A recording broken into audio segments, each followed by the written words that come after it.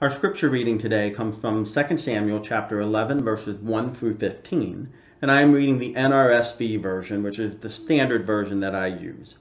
Listen for the voice of God. In the spring of, of the year, the time came, In the spring of the year, the time when kings go out to battle, David sent Joab with his officers and all Israel with him. They ravaged the Ammonites and besieged Rabbah. But David remained at Jerusalem. It happened late one afternoon when David rose from his couch and was walking about on the roof of the king's house that he saw from the roof a woman bathing. The woman was very beautiful. David sent someone to inquire about the woman. He, it was reported, This is Bathsheba's daughter, Bathsheba, daughter of Elam, the wife of Uriah the Hittite. So David sent messengers to get her, and she came to him, and he lay with her. Now she was purifying herself after her period. Then she returned to her house. The woman conceived, and she sent and told David, I am pregnant. So David went, sent word to Joab, Send me Uriah the Hittite. And jo, Joab sent Uriah to David. When Uriah came to him, David asked how Joab and the people fared, and how the war was going. Then David said to, to Uriah, Go down to your house and wash your feet. Uriah went out of the king's house, and there followed him a present from the king. But Uriah slept at the entrance of the king's house with all the servants of his lord, and did not go down to his house. When they told David Uriah did not go down to his house, David said to Uriah, You have just come from a journey. Why did you not go down to your house? Uriah said to David, The ark and Israel and Judah remain in booths, and my lord Joab and the servants of my lord are camping in, in the open field. Shall I then go to my house to eat and to drink, and to lie with my wife. As you live, and as your soul lives, I will do no such thing. Then David said to, to Uriah, Remain here today also, and tomorrow I will send you back. So Uriah remained in Jerusalem that day. On the next day, David invited him to eat and drink in his presence, and made him drunk. And in the evening he went out to lie on his couch with the servants of his Lord, but he did not go down to his house. In the morning David wrote a letter to Joab and sent it by the hand of Uriah. In the letter he wrote, Set Uriah in, in the forefront of the hardest fighting, and then draw back from him so that he may be struck down and die. Here ends the reading of God's word for the people of God. Thanks be to God. I do owe you a bit of an apology with uh, some of my mispronunciation and things. Um, that's always the secret to reading scripture text. If you don't know how to say it, just pretend you do. But it was a little rough today, but that's okay. Uh, this sermon, uh, this scripture passage, I should say, is one of the most difficult, I think, to preach on. And one of the reasons that it's difficult is there is no good news in this passage.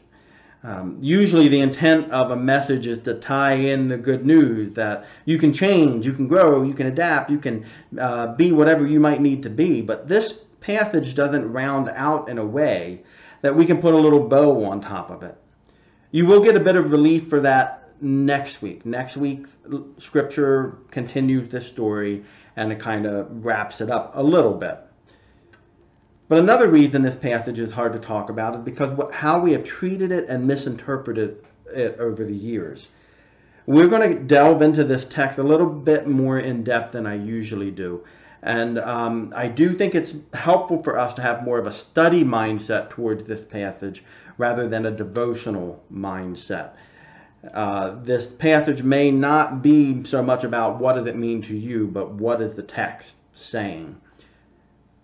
Another item of business before we really get into this text that I have to warn you about is that we are talking and dealing with issues that are very sensitive. Some of these issues may resonate quite deeply with individuals who will hear this message. And again, um, we'll get to those issues here shortly, but I want you to know that I am aware of this. And I believe that's important, um, that you know I'm aware, but also that I believe it's something we need to talk about. this scripture passage is a narrative text, and narrative texts are not ones that we preach from a lot. It, they're not easy to preach from. And partly because, like this text, it doesn't get resolved till next week. So we're left somewhere in the middle of this story and trying to ascertain a moral to talk about.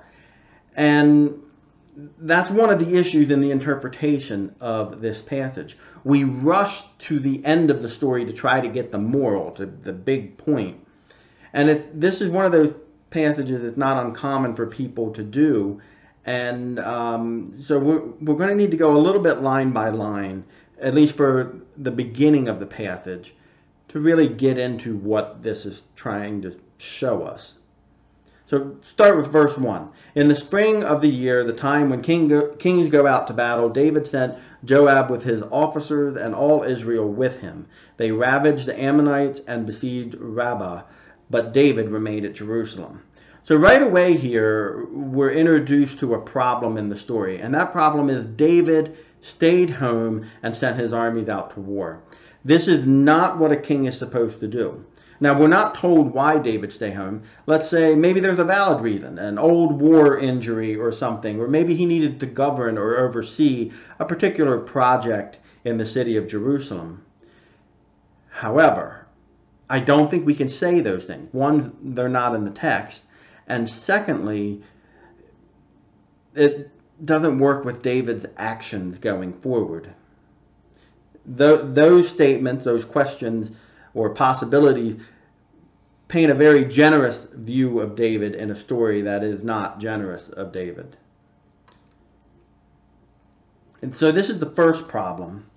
And this first problem is that David is not doing what he's supposed to be doing. A good king, like I said, is in a, in a field with his armies. And this is one of the things that David was celebrated for at the beginning of his reign, that he was with his men, he was protecting you, he was doing the thing that needed to be done. When David doesn't do what he's supposed to be doing, that's when the problems really start to open up. Verse 2 and 3. It happened late one afternoon when David rose from his couch and was walking about on the roof of the king's house that he saw from the roof a woman bathing. The woman was very beautiful. David sent someone to inquire about the woman. It was reported, This is Bathsheba, daughter of Elam, and wife of Uriah the Hittite. So now we're getting started into the big problem. And um, this is the reason I don't think David stayed at home for a war injury. David went up on the roof to look out, and walk around. Now, it's assuming, we, we have to talk about his reasons for doing that, but I'll come back to that. But when he looked out, he saw a woman bathing, saw she was very beautiful. And this is where interpretation starts to go crazy because people start asking questions. Why was she up on her roof bathing? Uh, was she trying to be noticed by the king? And this led to people viewing Bathsheba as a temptress that she was there that day trying to tempt King David. And this only works in, in a couple of ways. One is you have to have a very low view of women, that their existence is only to be there as temptation for men. So that's one issue. The other is you must have, in my opinion, a low understanding of men, that men can't control their impulses, whatever those impulses might be, and that makes women bad for men. Or three, you have to ignore the cultural uh, aspects of the day. what I mean by this, it was not uncommon for people to bathe on their roof. You have to remember it's a hot, arid environment. They're in a city with very little area that could be private. And the roof is above everybody else. So it, it is a place to be private. Okay, so you could go up there and bathe. It would be cooler because think about having like a little awning or something on your roof to, to keep shade. You'd bathe under that. Here's the thing. You can't uh, you can't say King David just walked around his roof for no reason when that's the common uh, social thing is that people would bathe on their roofs. And the king's palace, where the king lives, is going to be taller than everybody else's. So I would argue David was probably being a voyeur. But again, that's not really in the text. But you have to look at it and go, well, Bathsheba is doing something that's completely normal. David is the one that is probably not. So all that Bathsheba did was go and take a shower. Not only did she take a, shower, we know who who she is exactly. She's known by her father's name, which is, is culturally what should happen, but that also implies that uh, her father has a good name. And she's known by her husband, who also, as, and as we see, is a good person. So what the picture really is is of a woman who is going about her daily business doing the right thing. Verse 4 picks up. So David sent messengers to get her, and she came to him, and lay and he lay with her. Now she was purifying herself after her period. Then he returned to her house. The woman conceived, and she sent and told David, I am pregnant. David notices and sends for her. And the text makes clear, and I'm jumping ahead of a little part and I'll come back, but the text makes clear she was purifying herself after her period. Now, that may kind of seem like a throwaway and awkward statement, um, especially how religious people tend to treat anything regarding human sexuality or reproduction.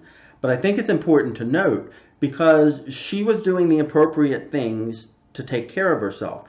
Uh, ancient Israel had all sorts of rules around menstruation and how women were supposed to handle themselves. During menstruation, they were unclean, and then they were supposed to make themselves clean afterwards. Uh, there's just there's all sorts of things with that. Um, I point this out because she is she she's just doing normal stuff. She's at the grocery store. Uh, she is just doing her normal routine and activity. She's doing the right thing. And, and I think that's why that line is in there. Now, I did jump ahead to that, but let's step back for a moment because in verse 4 there is kind of a throwaway statement. And he lay with her. Now, I, I know and I've heard people interpreting this saying that Bathsheba willingly gave herself to David, but I want to I want to point out what's happening in the text here, and that is Bathsheba is raped. David raped her.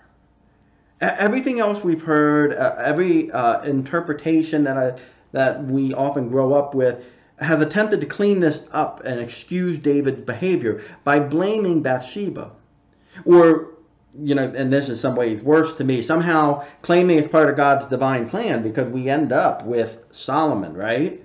And by extension, this is how we end up with Jesus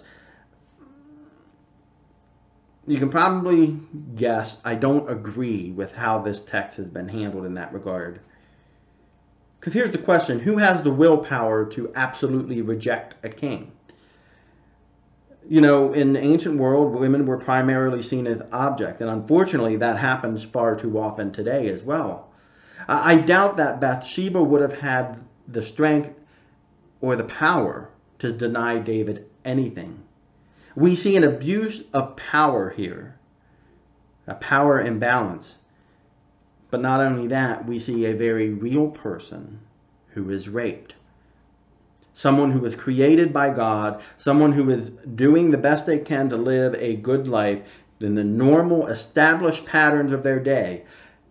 And then, yet somehow, the church has seemed to take delight over the last however many hundred years interpreting someone else's pains Bathsheba's as either God's plan or that she was asking for it. This text goes on and moves from rape to then David trying to entrap Uriah, Bathsheba's husband, to thinking that it was his baby, or, and then right after this, to murder. Calling all of this anything else is an affront to the two people who are good people in this text. Bathsheba and Uriah. Remember, I said this is not a good news text. I've been around far too many church people and religious people who like to clean up the Bible. Uh, often these are the same people who claim to me that, they believe the Bible in black and white, but you can't clean this up. We'll, we'll discover what happens in the future uh, next week. And but one thing is absolutely clear if you know the story of David, David and Israel is never the same again. And it's all because David raped someone. Let's call it for what it is. As Christians, we need to learn to be more honest about what is in our scripture text. And the reason I, I go for that is because I've watched far too many Christians run to the cross for grace with no repentance because they look at a text like this and they remember that from Sunday school that David is a man after God's own heart. And so so we use that to cover up the sin. We mishandle the text. We mishandle our theology in regarding to the text just so that we can pretend. So we we do things like this and then get to say that hated quote boys will be boys you know, that's that's just a, just such a stupid line. I mean, that line of reasoning has no place or activity in who God has called us to be. Not only should this text make us be more honest about Scripture, I believe it should have an effect on who we are today, how we pay attention to what happens around us when someone says something inappropriate happened to them at work or at the church. The church, unfortunately, has been a place where things like misogyny and abuse run rampant and unchecked.